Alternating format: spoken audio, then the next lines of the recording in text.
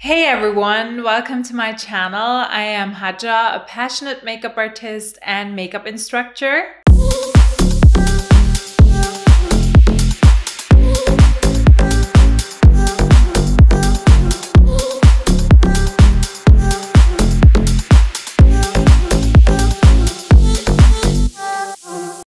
Today's video, I want to show you a quick and very simple makeup tutorial for people who are an absolute beginner in makeup. I will explain every step simple and detailed so you know what and why you are doing things the way they should be done. Also, another struggle that most beginners are confronted with is what should my makeup kit contain to be able to apply a complete daily makeup look? I will tell you what you need and also put the link to a PDF list you can find in the description box down below. Now, are you ready to master a flawless piece of art? Then let's start. So guys, we start with the skincare part since we need to create a nice smooth surface to work on. So the first step is to find out your skin type and apply a suitable daily moisturizer for your skin. Um, so what I'm using is the Avène Hydrance uh, UV Rich. It's a hydrating cream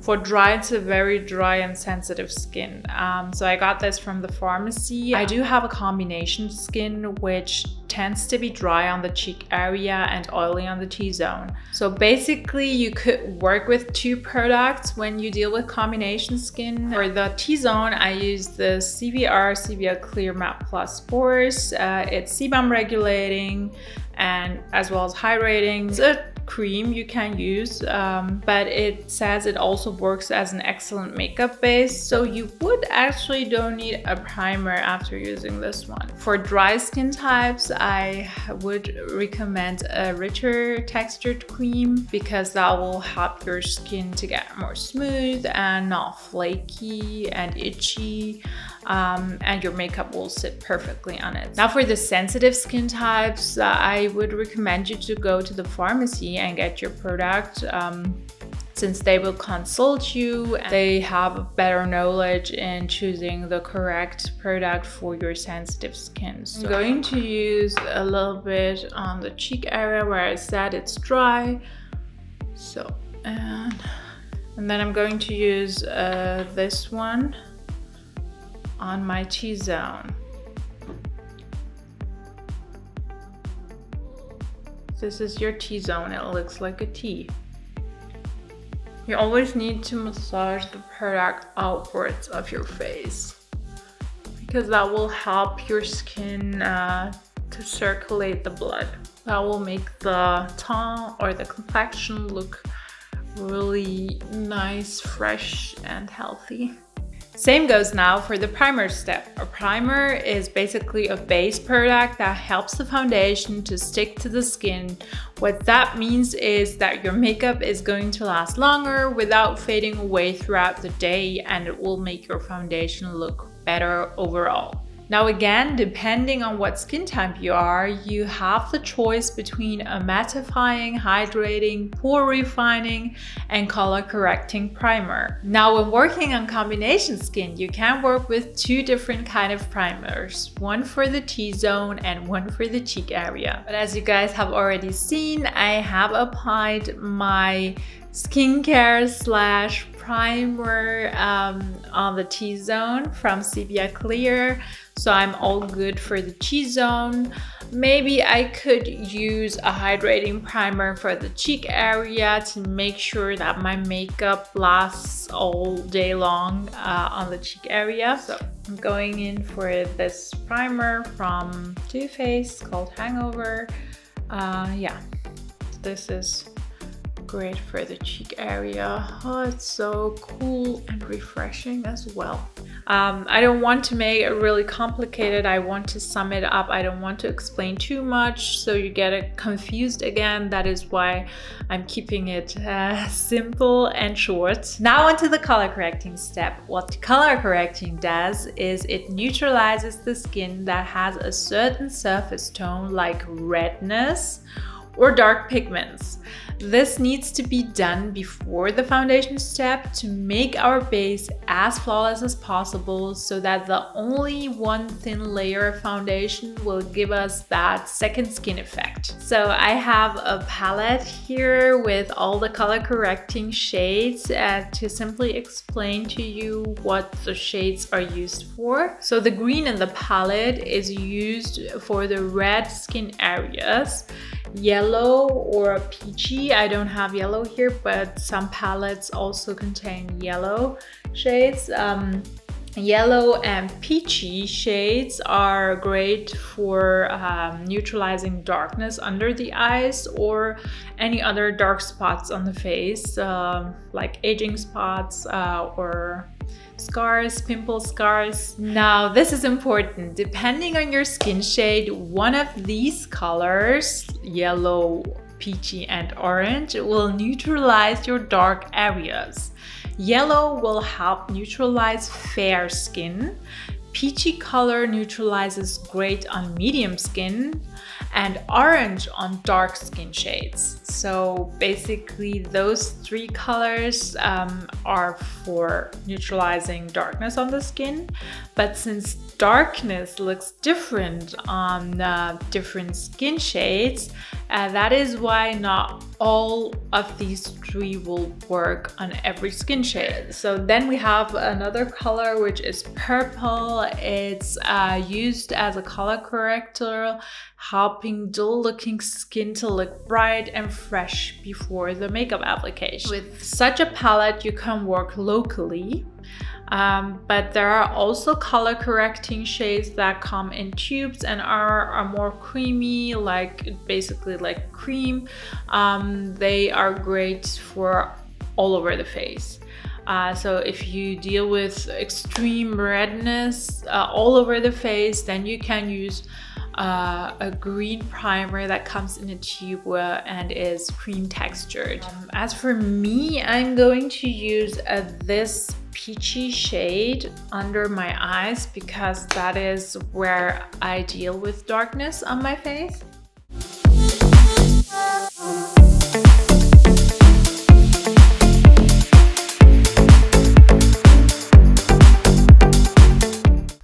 Look, it already brightens up the skin without the use of uh, concealer. Then I have some redness here on the cheek area, but that is no problem covering it uh, with the foundation since, uh, yeah, it works well for me. I don't need a green corrector, but there are people who really suffer from uh, very red skin surface tone, and that is why they maybe should use a green uh, primer. Then we go on to the step of applying foundation. Here again, the skin type needs to be considered. Again, if you deal with oily skin, good for you. You apply a mattifying foundation. If you have a dry skin, you look up for hydrating, sheer, luminous foundations. And if you have a combination skin, then you again can work with two products. I do work with soft matte foundations.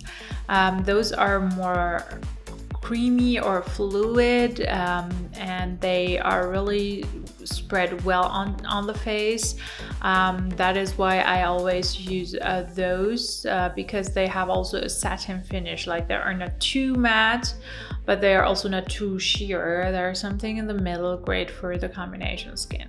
You can still, instead of working with two foundation, you ha also have the option to um, mix your foundation with a few drop of serum or oil um, uh, for the cheek area. That is also an option to make it more sheer. But um, I, I, have uh, found my product which works well for me. Um, it looks great both on my cheek and on my T-zone. That is why I go for one product. My tip is to apply the foundation on the back of your hand. Um, depending on your face size, depends on how many pumps is enough, but mainly one to two pumps are more than enough because you have applied a great base already. This is a flat dense foundation brush. Please make sure your brushes are all clean to use since uh, that will prevent your skin from uh, getting inflammations or any breakouts. Um, so yeah, I'm going into the product like this. And you know a thin layer. We start with a thin layer and then build up. Uh, we start in the center of the face. We start in the center and work our way upwards to the temples and forehead and the neck please if you don't have found your foundation correct foundation match then go and let yourself be consulted um, at Sephora or wherever you get your products uh, so that they will help you to find the correct shape because that is very crucial. My tip of preventing cakey makeup is using a dampened clean beauty blender right after I have spread the foundation all over my face with the foundation brush. The reason I use a foundation brush and a beauty blender is because with the foundation brush you can apply your foundation evenly. Then when you go over it with a beauty blender, you will get that airbrushed smooth effect. Now about the foundation coverages, you have the option between light, medium, full coverage. I think a medium coverage is great for both day and even makeup since you can build it up and um, yeah, in case uh, there is a spot that is really not covering, um, you can use a high coverage concealer to conceal that spot and make it look less visible. Okay, now I have a face without any dimension, shadows and pops of color. It just looks dull and boring. So to give your face its natural shadows, light and colors back, we start with the highlighting and contouring.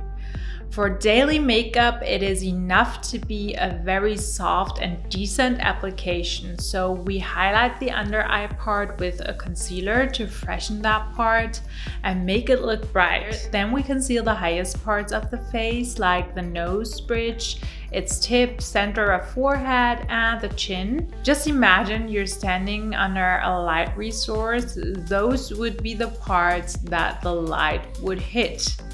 This is a great high coverage concealer. You could also use a medium coverage concealer. Um, yeah, we're going to conceal those. Just go in with the wand and apply a thin layer here near the tear duct and a little here on the outside towards the temples.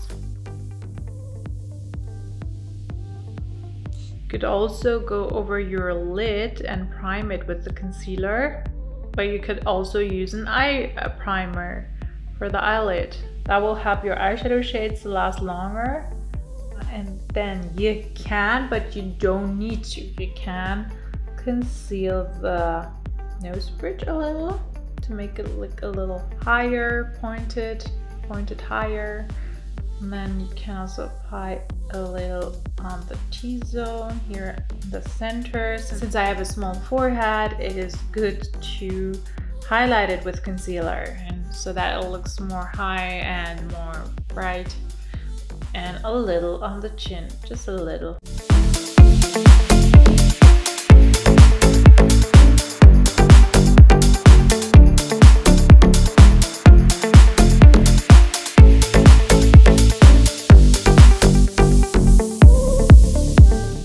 Then we apply our contour product. It is easier to work with creamier products to sculpt the face. Depending on your face shape, you might contour differently than me, but imagine an imaginary oval shape in your mind when looking in the mirror. Now, if your face shape does not fit in the imaginary oval shape because it is more squarish on the forehead or on the jawline area, then those are the parts you would contour to create a more soft rounded face shape. So to make it simple for you, here are the parts you would always need to contour despite your face shape. It's along the cheekbone up until the hollow of the cheek and along your nose bridge to give it more structure and warmth. So the reason why we always go under the cheekbone is because we want those defined cheekbones um, since the media says it looks better. but yeah, it looks harmonious to, to our eyes. That is why we do that. And um, yeah, the nose mainly because you want to make it smaller uh, or higher pointed. Um, but I do it because I like my nose to be a little more warmth looking, a little more tanned. Uh, now, depending on how long or squarish your chin, your jawline, or your forehead looks, you could additionally contour these parts as well by applying product along the edges. I will show you how. Start from the top of the ears and line it until here. Don't go further down, otherwise it will make the cheek area hanging. And that's not what we want. We want the cheekbone to look uh, defined and lifted. That is why we stop here. This would be like right here uh, at the first one third of your eye on the other edge.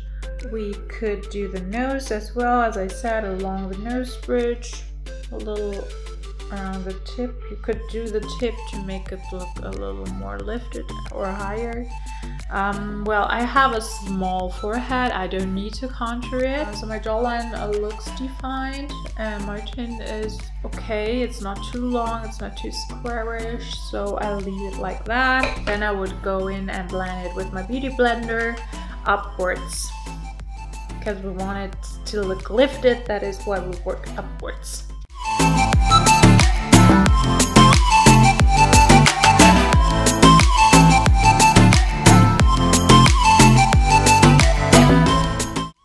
To set the cream products on the T-zone as well as under the eye in place, we apply a setting powder that is loose or pressed.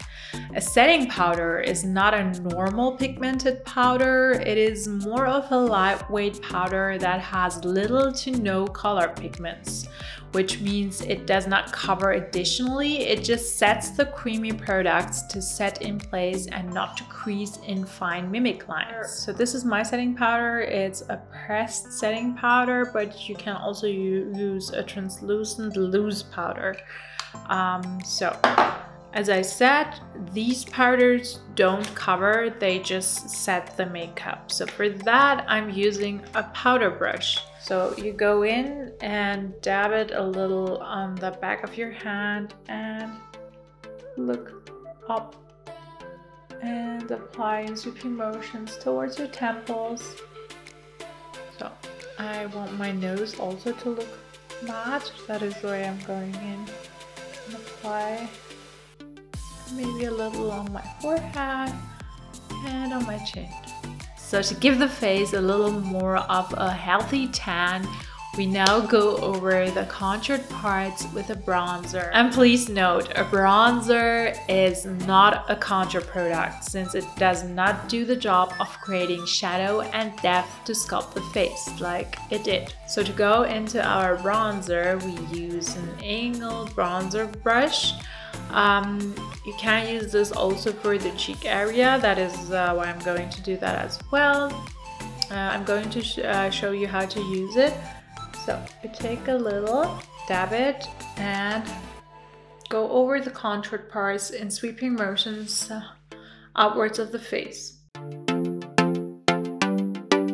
Depending on uh, what intensity you like, uh, you should build it up. Okay, I also go on the forehead. I didn't uh, contour my forehead, but I would like to go over the forehead because I like it to look tanned, but it's personal preferences. You don't need to, but I like to.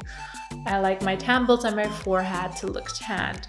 I also like my nose to look tanned. Uh, it will give you that sun-kissed makeup look. That is why I go over the bridge. This is how it will just go around the nose, on the nose bridge, under the tip, and maybe a little under the jawline. Now we need a flash of color that will make our complexion look more radiant. So we apply a blush on the apples of the cheek. Yeah, you could use a blush brush as well, but I'm using an angled bronzer brush since I like uh, my blush to be applied on the cheekbones as well. But I focus mainly on the apples of my cheek. Apply circular motion and apply the rest of the product that is left on the brush in sweeping motion slightly above your cheekbone. I'm a fan of sun-kissed makeup looks. That is why I go with the blush a little also on my nose bridge. Okay, now comes the last step to the face makeup.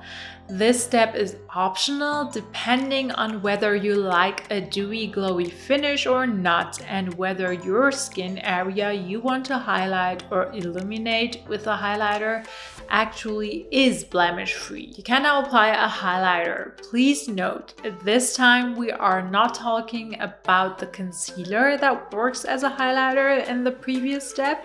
This highlighter or illuminator is a product with a shimmery or glowy finish. You have the choice between a cream or a powder highlighter. So for a more dewy look, a cream highlighter is perfect and a more glowy shimmery, a powder highlighter will do the job. So we apply it again on the highest parts of the face where the light would hit our face when we stand under it.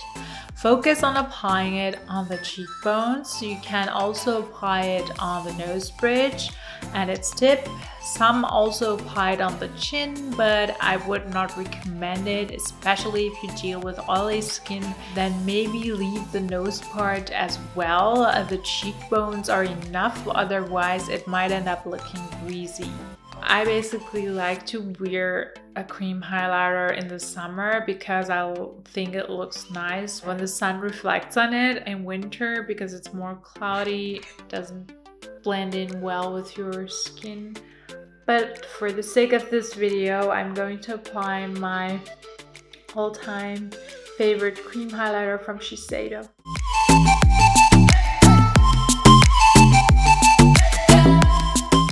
Use a powder, use a medium-sized blending brush.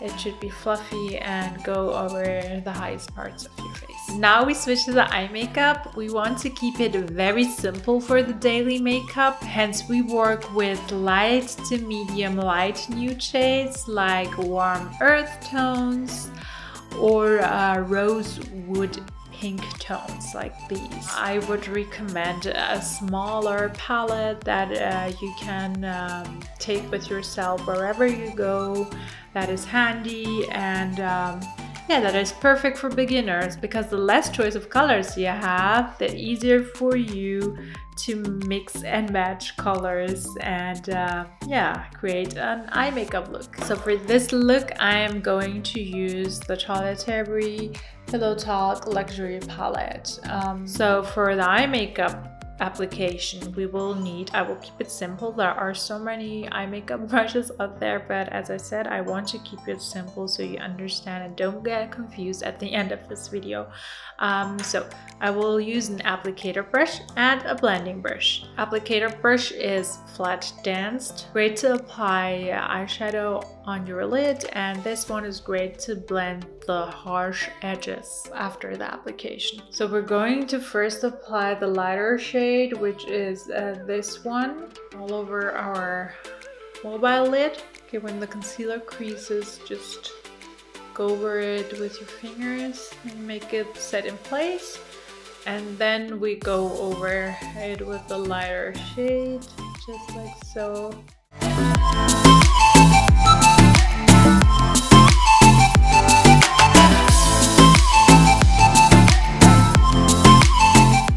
when you open your eyes, this is basically where your eyes would crease when they are open. That is the crease line and that is where your eyeshadow should end. You shouldn't go further. By the way, I have a more detailed video on how to apply eyeshadow correctly and how to blend it correctly uh, with all the terms and tools and products you need in another video which I, am going to link down below. The next step would be to blend uh, the applied eyeshadow.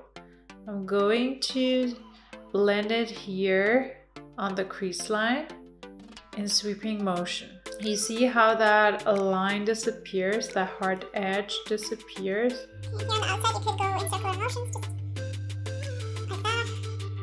The reason why I don't recommend you to work with dark shades in the beginning um, is because you simply can mess up and uh, that will be frustrating. and yeah, that's why I practice with lighter shades at first. Okay, that is perfect. Uh, and now we want to create depth. To create a little more depth, um, we go in uh, to the darker shade of this palette, this darker matte shade, and apply it um, this time only with the uh, blender brush, blending brush on the outer edge of the eye in the crease here in the crease press it in the crease and stay in the crease. And see it's darker here at the outside. It's okay. So and then we blend blend blend in sweeping motions. Blend in sweeping motions. Blend in sweeping motions. Slightly go towards our brow bone. So when you notice you have accidentally applied too much product. Just go over with your fingers and take it off. Mainly take it off on the above the crease line since uh, that is where the color should look diffused and blended. Look it's corrected now. You don't have any hard edges anymore. Okay and then we go again with uh, the same blending brush with the same motions. Please um, don't use too much product um, build up the intensity so now for the lower lash line uh, we can use or should use uh, this darker shade on the outer one third of the outer edge of the eye to create that lifted eye effect. Give it a good last blend uh, without any, with a brush without any product on. Just go over these lines and make them blended and diffused. Now you have the option to go with a shimmery shade on the inner part of your eye, on the tear duct for example, to make it look more bright and make it pop out. Um, that is why I go with the uh, highlighter shade here and go here in my tear duct with my pinky.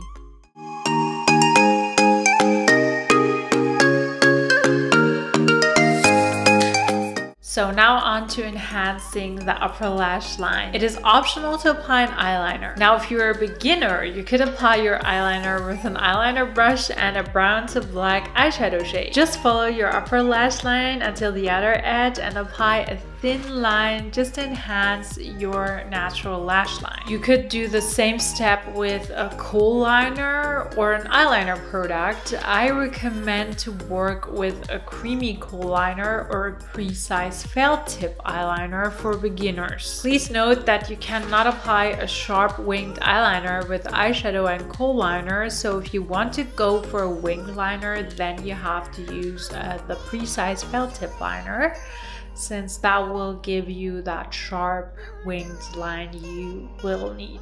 I will spare you the struggle of a wing liner in this tutorial since I think that it is not something you must know as a beginner that only wants a daily makeup that is quick but enhances the beauty.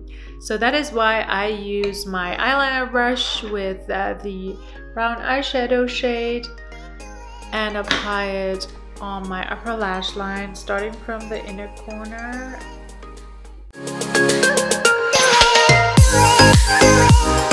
Could also work with black, but currently I am in love with brown liners. That is what brown. This is your basic line, this is where you would stop. It's really easy and if you mess up it's okay because you can still blend it and make it look okay. Okay, I don't know whether you can see, but I have enhanced my upper lash line so that my lashes look more voluminous when I apply mascara on. So the lashes step is also easy. Curl your lashes with a lash curler if you deal with naturally flat lashes to achieve nice lifted lashes when applying mascara next. Other than that, if you are blessed with curled lashes, go ahead and apply mascara. But don't get me wrong, uh, I, I think a using a lash curler in general make your lashes look more lifted and beautiful. That is why you might not want to skip that.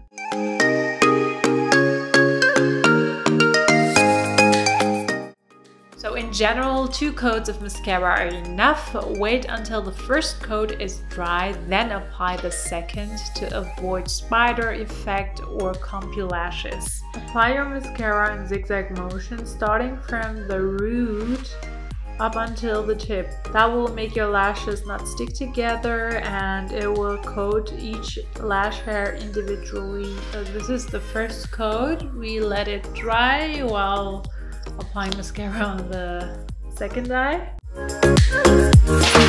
Now to the brow steps. So first of all, you need to fill gaps in your brows if available with a brow pencil. Here's a trick. Brush down your brow hair with a brow groomer, then draw precise hair-like strokes beginning from the beginning of your brow up, up until the arc and the tail of the brow. So what that does is basically make uh, the gaps more obvious so that you can go and fill them in. Okay, look, I have filled the gaps and now I would brush my brow hairs in that grow direction and et voila, they look fuller now. You see, I want to shape my brows as well, so what I'm going to do is to apply again, starting from the beginning, hair-like strokes in the beginning here, upwards, and then here as well, and here on the arc as well, I have some missing hairs. And then here I want the tail to look a little thicker. That is why I'm going to apply one to two to three hair-like strokes here at the end as well. Make them look maybe a little more pigmented. Press a little harder. You see here is also like there are no hairs missing gaps. Don't press too hard in the beginning of the brow since uh, that will uh, start to look fake really easily. In the end you can do that at the end of the brow but not in the beginning since that will look like too drawn. you could also make your brow look longer by just applying one stroke here at the end additionally.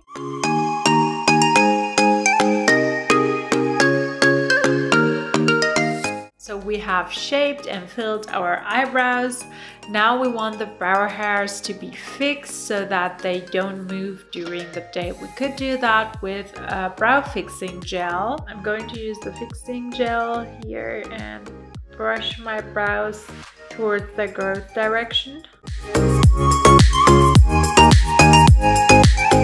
Another tip would be to work with a brow mascara. What a brow mascara does is it gives your eyebrows more volume and enhances them, but it's hard to shape your brows with a brow mascara. So in case you have fuller natural looking brows and you just want to enhance them, just use a brow mascara. It's really easy. Just brush your brows towards the hair growth direction and that's it basically. The lips are the easiest part. Choose your lip liner product and color of choice to frame the lips. Once the lips are framed, you can apply a lipstick to paint it. You could slightly overline your lips with the lip liner to make the lips uh, look bigger, but don't overdo it, otherwise it might end up looking fake and that is not what we want. Now if you plan to overline your lips, use nude shaded lip liners like nude pinks or nude light browns. Um, since that will blend in with your actual skin tone well and it will make it appear much more natural. Now if you plan to do it with another shade, let's say red or another dark berry shade, um, it will start to look unnatural if you overdo it. Do you see this white line over my lips? This is basically the line where you're allowed to over a line. This is like basically your uh, border.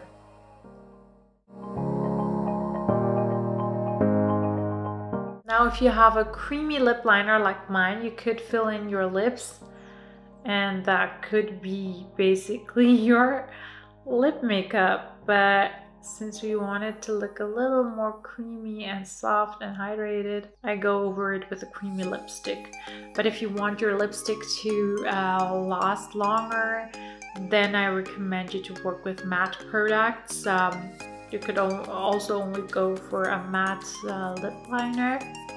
Now if you apply a lot of matte products, don't forget to apply a lip balm and let it absorb. Since we're going to apply lipstick, we don't fill in uh, evenly. So this is my lipstick of choice. It's called Shush Blush from Marc Jacobs. It's creamy.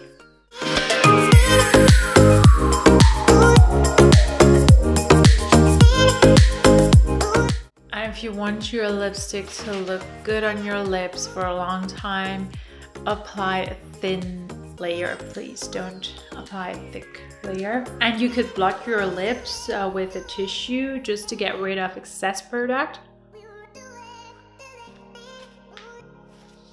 For the final step, we apply a setting spray to set the makeup. It will help your makeup to lock into your skin and make it last the whole day without fading away. There are setting sprays with additional mattifying and hydrating effects, so again, take your skin type into consideration.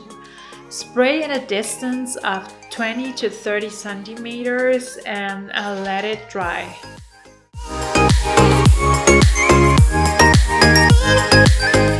That's it for the daily makeup look tutorial for beginners. I hope I could be helpful enough to the beginners out there. I know how overwhelming it all can be at the beginning, but trust the process and the progress you are going to make after a few attempts. In case this was not detailed enough for you, I suggest you to enroll in my bestseller Makeup Artistry Basic to Master online makeup course. There you will learn all the fundamentals of makeup artistry with the focus on detail. I will add the link in the description box down below for you to preview. Thanks for watching and don't forget to subscribe to my channel and like this video for more beauty content.